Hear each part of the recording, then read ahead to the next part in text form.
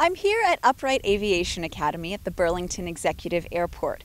Earlier this year, they opened their brand new hangar, which is the biggest one here at the airport. They actually came into existence just before the pandemic, and what they do is they take folks up on a thrill ride. Before starting the company, founder and president Jeff Armstrong was an airline pilot in the States. He also flew for a thrill ride company.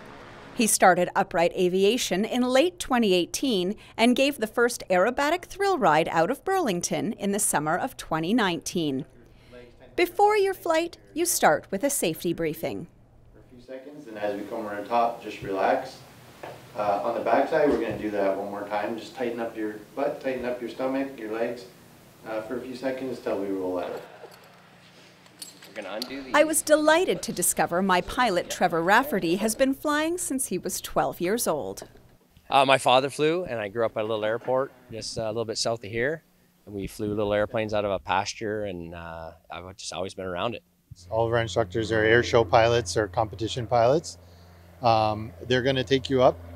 Zero experience necessary. You're going to go up. You're going to do rolls, loops in the skies. Uh, you're going to be able to fly that even though you've never flown an airplane, we're going to let you do that.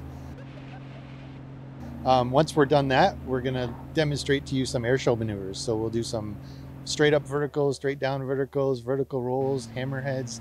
Uh, we'll do something called a Lomcevak, which is uh, a tumble or a somersault in the sky. Um, we're going to give you the full experience.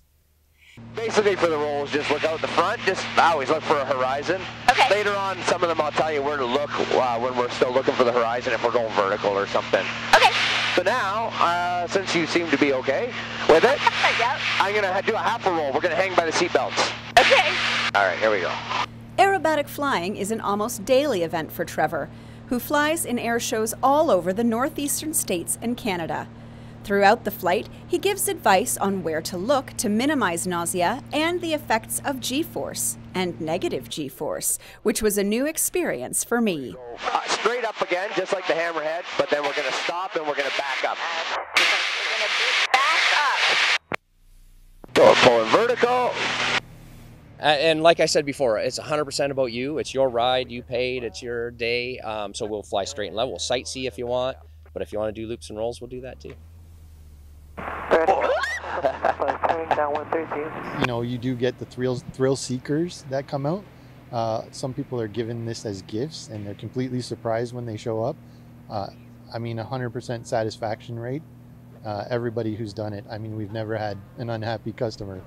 In addition to thrill rides, Upright Aviation also has training programs for licensed pilots. We offer uh, aerobatic training for pilots, tailwheel training for pilots, and as well as uh, upset prevention recovery training, which is our uh, specialty safety course for, for any pilot, from airline to general aviation. Well, that was quite an experience. I will admit that I shrieked once or twice, but I kept my cookies down, and that's the most important part.